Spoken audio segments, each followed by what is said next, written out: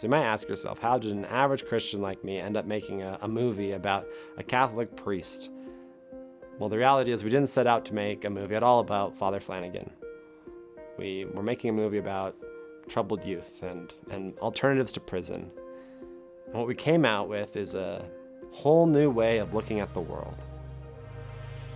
I say new, but really it, it was invented, created, and realized by Father Flanagan with what he did at Boys Town. And this actually started all the way back in 1917. Now, what, what he started with was just an idea an idea that there are no bad boys. And that might seem pretty simple to say there are no bad boys, but it has profound implications.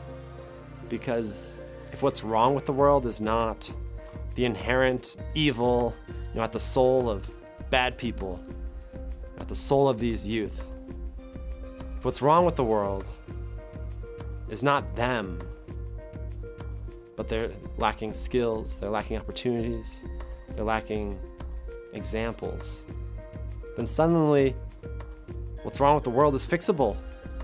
It's approachable. It's something we can handle and do something about.